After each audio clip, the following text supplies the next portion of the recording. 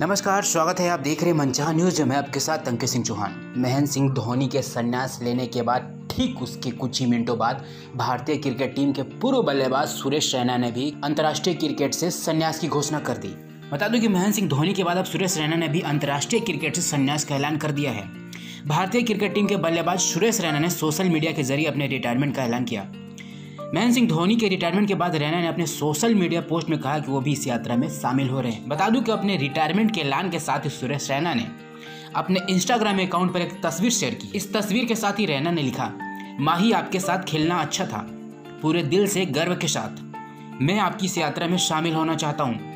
Thank you India जय हिंद. यानी कि कह सकते हैं, टीम इंडिया के पूर्व कप्तान महेंद्र सिंह धोनी, यानी कि माही के संन्यास लेने के कुछ ही मिनटों बाद भारतीय क्रिकेट टीम के मध्य क्रम के पूर्व बल्लेबाज सुरेश रैना ने भी क्रिकेट से संन्यास की घोषणा कर दी। यानी कि आईपीएल स्टार्ट होने से ठीक कुछ दिन पहले भारतीय क्रिकेट के कप्तान महेंद्र सिंह धोनी और साथ ही उनके टीम में खेलने वाले सुरेश रैना ने भी क्रिकेट से संन्यास की घोषणा कर दी। यानी कि एक के बाद एक, दो ऐसे बल्लेबाज जो लगातार टीम इंडिया में खेलने के बाद कई ऐसे मैच थे और कई ऐसे सीरीज़ थे जो टीम इंडिया के झोली में डाला था। लेकिन अब आज ही दोनों ने क्रिकेट से अलविदा कह दी। शाम का वक्त और फिर सनसेट। और कह सकते हैं, आज़ादी के दिन दोनों क्रिकेट बल्लेबाजों ने टीम इंडिया से संन्यास की घोषणा कर दी।